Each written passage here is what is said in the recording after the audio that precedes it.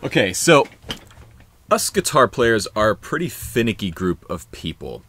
When we find something we like, we tend to stick to it, and in some cases, even defend it to the death on forums and message boards and comment sections all over the internet. Now, while I tend to stay off of the forums and message boards and comment sections, I am sometimes guilty of this sort of fundamentalist way of viewing guitar and guitar gear. I'm guilty of believing that the way I do some things is the best way to do them. And uh, occasionally, I'm proven wrong. So yesterday I went over to Rick Beato and did a video with Rick and Dave Honorato and Ken Lanyon.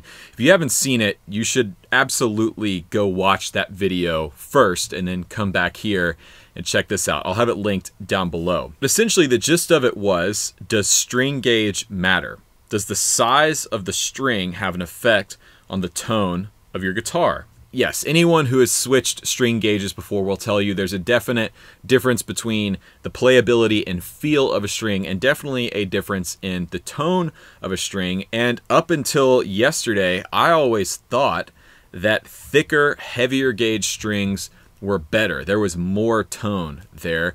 And quite frankly, I was proven completely wrong in Rick's video. We took his Les Paul and strung it up with 11s, 10s, 9s, and 8s, played into the same rig, the same riff, and I have to admit, I liked the lighter gauge strings. Now, this is a big deal for me because for years, this was one of those fundamentalist sort of views I had in terms of guitar. But yesterday in that video, I found that I might actually prefer lighter gauge strings. For years I've played 10s, and at some point I even played 11s on my Gibsons, on my ES335, played 11s on that for years, again because I thought, oh, well these sound better, there's, you know, more tone. But yesterday, I saw the light, and this is a follow-up video to Rick's video.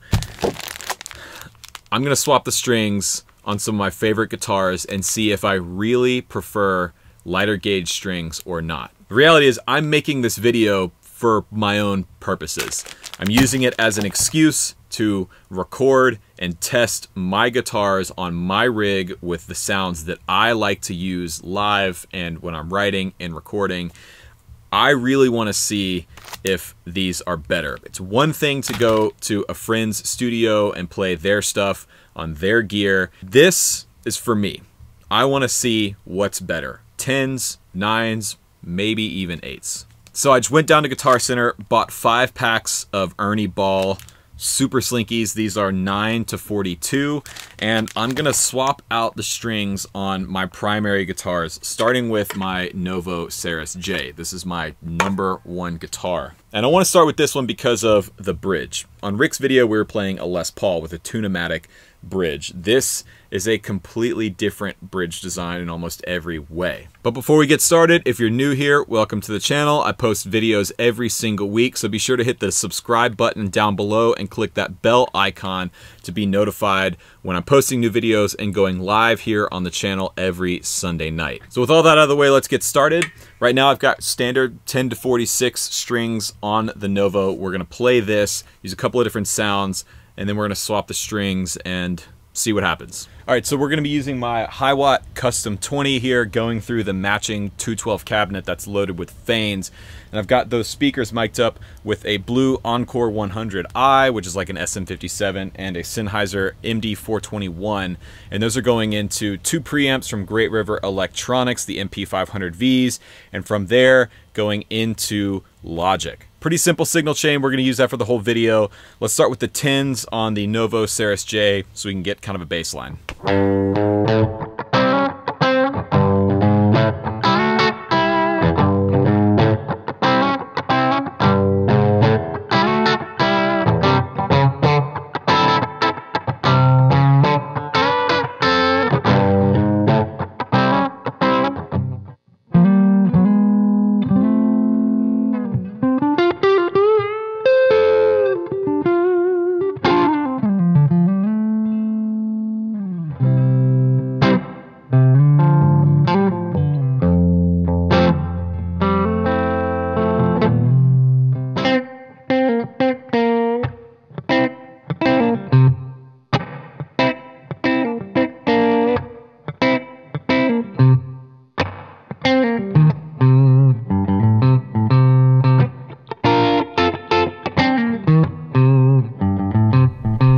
Okay, so next I want to try some effects. Again, the point of this video is not to do the super scientific direct head-to-head -head between the 10s and the 9s. We already did that in Rick's video. This is to see how it fits in with my style and my sound and my rig. So I've got my main pedal board on the floor here going straight into the front of the Hiwatt and I'm going to go for some sounds that I commonly use. My favorite overdrive sounds, some fuzz sounds, some delay and reverb. And then we're going to compare that against the nines. My thought is that the nines are going to be more clear and more bell-like and possibly cut through the mix better, especially with the effects. But we'll see.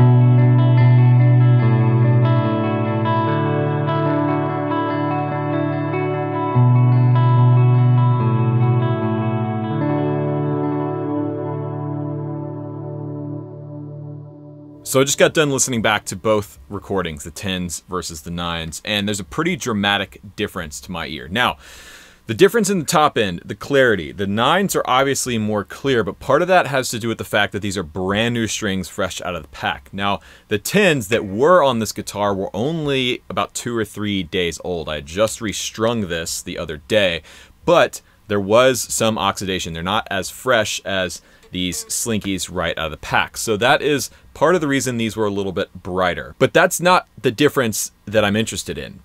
The biggest difference is in the low end. The low end on the lighter gauge strings is much tighter and more direct. It's less flubby, and it's really apparent to my ear when I'm using reverb and delay. It's also helping a lot in my overdrive signal. I'm using the Mythos Mjolnir and the Paul Cochrane Timmy, both individually and stacked together. And the tighter low end to my ear is helping that overdrive sound punch through and cut through a little more than it did on the 10s. Now, again, if you watched Rick's video, that was pretty much the conclusion that we came to. I'm not breaking any new ground with that in this video. And the other thing is, if you want tighter low end or more clarity, there's multiple ways you could go about doing that rather than switching the string gauge on your guitar. I mean, this amp, for example, has a three band EQ. If I wanted a tighter low end, I could simply turn the bass and maybe some of the mid control down a little bit. Or if I wanted more clarity, just turn the treble up. So it's not really the difference in tone that I'm after here. The thing that really struck me in Rick's video yesterday is when I was playing that Les Paul, when we switched from the 11s to the 10s and then the 10s to the 9s, I noticed in my playing that I was a lot more comfortable. And when you're more comfortable, you play with more confidence. And when I just swapped to 9s on this guitar, I noticed a similar effect. Guitar is easier to play, which means I'm playing more confidently. I'm going for bends, they're easier to hit. My vibrato feels easier. It feels easier to grab chords. And even in the right hand, the way the pick is interacting with the string, it feels like I can dig into the guitar a little bit more and just pull some more grit out of it. And now for proof of concept, and in the interest of being thorough, I'm gonna do the same thing to my Les Paul. There's 10s on here now, and this is a different scale length than the Novo, and it has a completely different style bridge on it as well. So I'm gonna play the 10s, swap them out, and see what the difference is.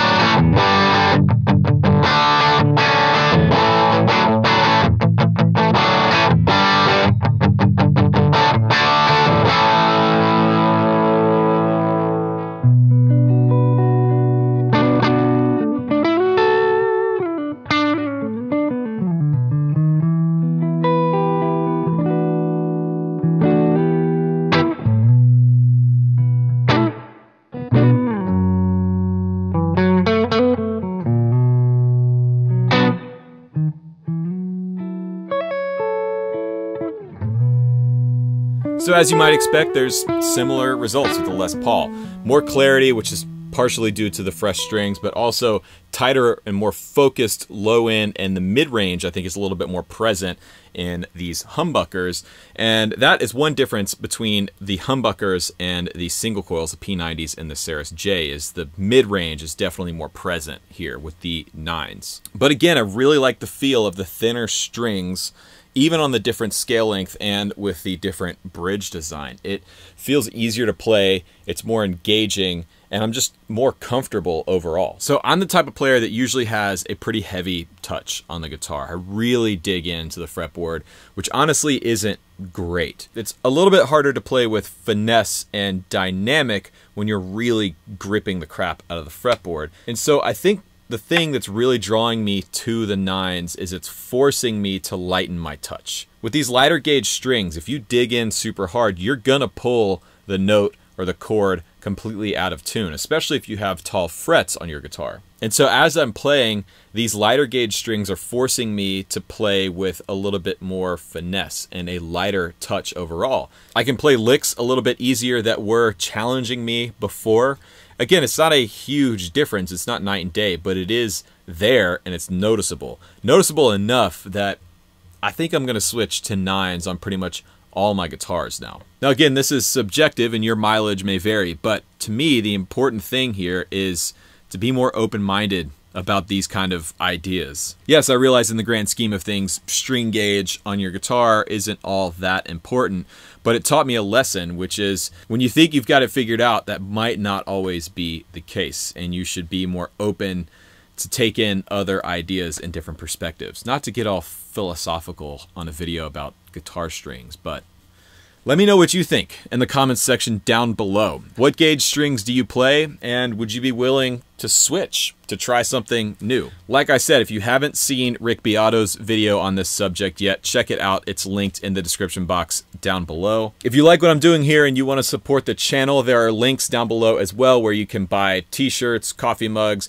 you can get access to my Helix presets and my Kemper profiles, and you can sign up for the Green Room down there. The Green Room is a monthly subscription which gets you access to a private forum where there's lesson of the week content going up. I'm also putting up new tour dates now. Those are linked on my website down below as well. That's all for today's video. Hope you enjoyed it. My name's Rhett Shull, and remember, there is no plan B.